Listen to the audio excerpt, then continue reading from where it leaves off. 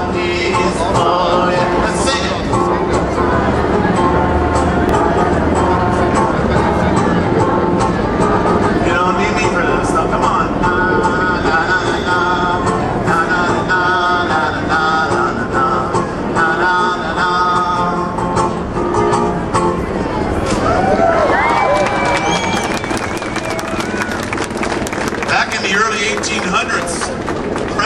United States sent a peace mission across North America. It was called Lewis and Clark.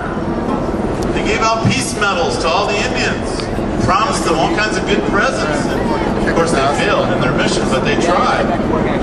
And on that mission, there was an African American, first African American to ever vote.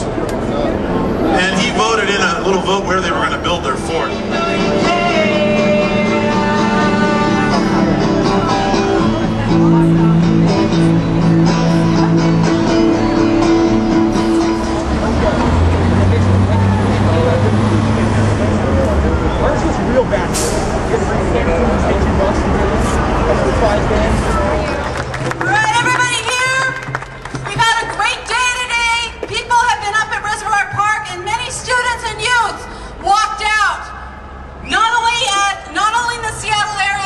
The peninsula. People came down from Everett.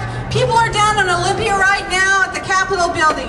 So we want those youth, those students and those youth to come forward. To, at different points, we're going to do a shout out, make sure that people know what schools they came from.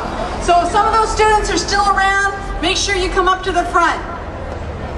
no habeas corpus and all the death and destruction in Iraq and the fact that this Bush administration abandoned the people of New Orleans to die.